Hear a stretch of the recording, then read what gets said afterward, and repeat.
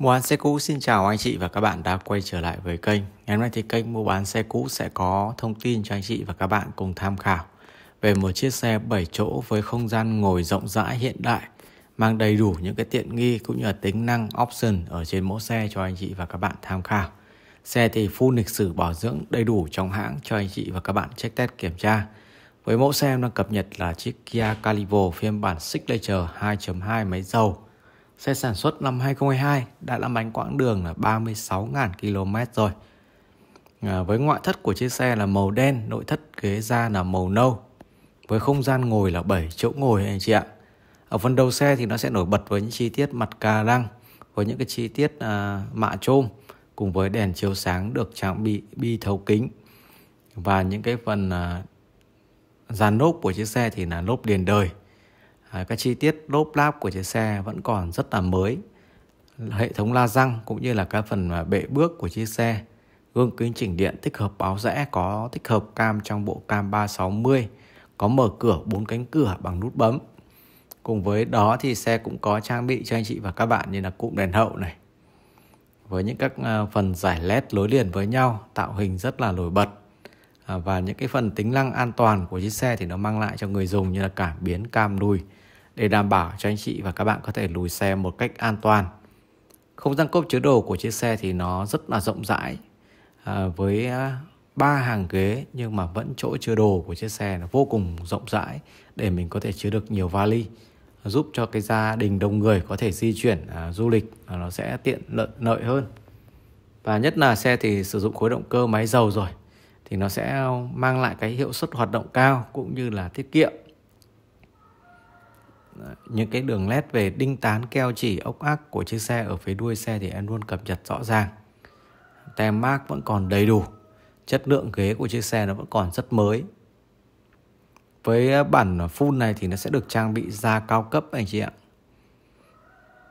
Cốp điện hoạt động vẫn còn rất là trơn tru. Ở phần à, thân xe đây thì ta có thể thấy qua thì những đường gân hay là những chất lượng bề mặt sơn si của chiếc xe nó vẫn có độ bóng và độ mới mép lối mép cảng của chiếc xe nó vẫn còn rất là khít.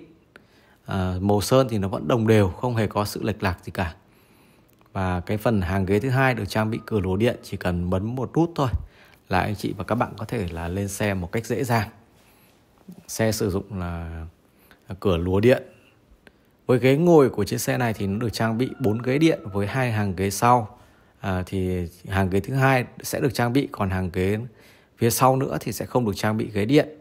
Ờ, và chế độ làm mát ghế thì nó sẽ có ghế lái ghế phụ và hàng ghế thứ hai. Đấy, đây là những các phím điều chỉnh ghế. Rồi là có trang bị như là bệ đỡ bắp chân hay là những chế độ làm mát ghế sấy ghế.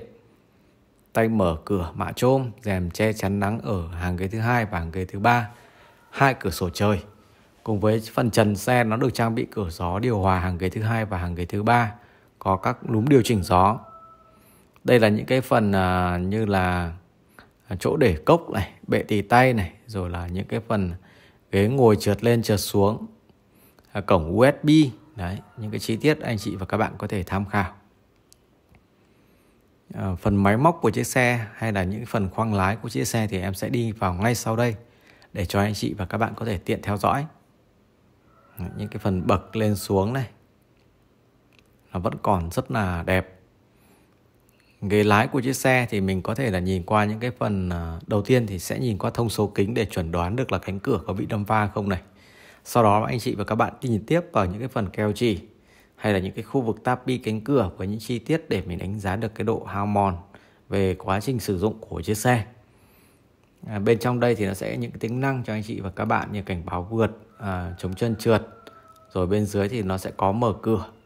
À, vô lăng thì có tích hợp đầy đủ đàm thoại này à, giới hạn tốc độ rồi là có duy trì làn đường rồi phanh khoảng cách.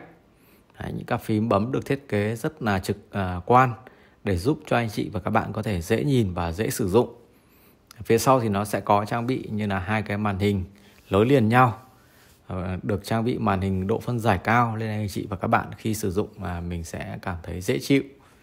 Có trang bị à, à cổng sạc nhanh hai cổng và một cổng kết nối USB hay là những cái phần cần số được thay bằng lúm xoay có phanh tay điện tử và có các chế độ lái rồi là auto hold Đấy, làm mát ghế, sấy ghế được trang bị đầy đủ, các phím bấm được thiết kế rất là sang trọng. Và phần máy của chiếc xe nó như nào thì em cũng sẽ mở cái phần máy móc lên cho anh chị và các bạn cùng tham quan. Với khối động cơ của chiếc xe nó sử dụng là máy dầu 2.2 với khối động cơ máy 2.2 Smart Trim cho anh chị và các bạn cái khả năng vận hành di chuyển của chiếc xe nó rất tuyệt vời. Với cái mẫu ờ, máy này thì nó sẽ dùng chung cho ờ, Hyundai Santa Fe hay là Kia Sorento đều chung cái khối động cơ 2.2 này. Đấy, khối động cơ máy turbo. Và mức giá bán của chiếc xe này thì hiện tại đang chào bán anh chị và các bạn là 1 tỷ 260 triệu. Giá vẫn còn giảm và thương lượng có hỗ trợ sang tên. Check test hãng gara toàn quốc theo yêu cầu. Xin cảm ơn.